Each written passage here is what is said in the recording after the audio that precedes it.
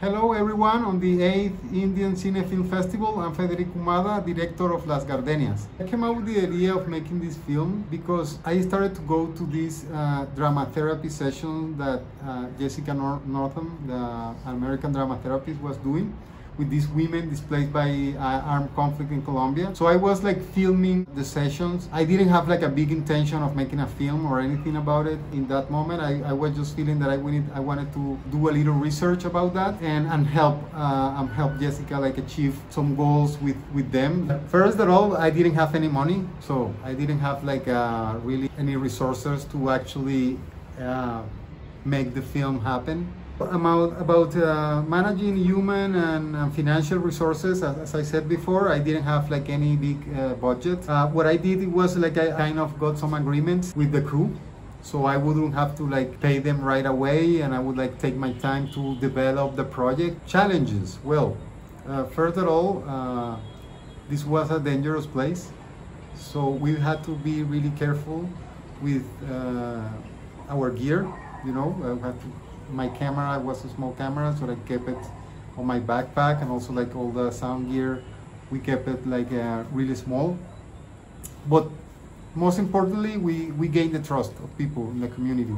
Like the work that uh, Jessica was doing with these women, and, and got uh, got us the, the opportunity to to be really close to them and trust was really important and was built. It was very different what I envisioned at the beginning and what the film turned turned out to be because I wasn't really sure at the beginning where the story was going. I didn't know what the outcome of the process would be. I didn't know what was going to happen with the peace agreement. Everything everything was just like I don't I don't know what is going to happen. I think the process helped me find out what I really wanted to to, to say and to show in this movie and, and how it turned out to be.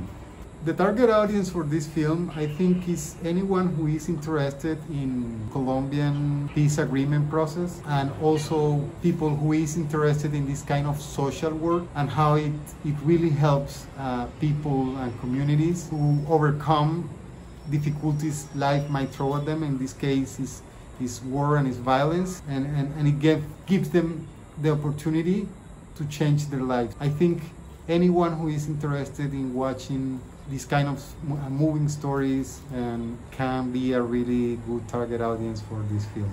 I aim to, to reach many festivals like documentary and, and independent filmmaking festivals um, so I can like show this, this, this type of work because what I really aim uh, deep down is like the possibility of people that would like to help these kind of social work programs in Colombia or in, in many countries I think like I, I'm looking for a way to inspire people and, and organizations to support these kind of initiatives like Jessica's and like many other people around the world that want to help communities to, to improve. So after these uh, roots in the festivals and, and, showing the film in the festival and, and, and, all that, I really aim to show this film on, on communities like this one, like especially in this community, like I really want to show the film to them and, and I want to show it to many other communities that might feel related to this women's story because what I really want to, to, to make is people to connect with this. People should watch this film because I think it, it will give them a different perspective on Colombian armed conflict and, and it will give you like a, a, a really good sense of what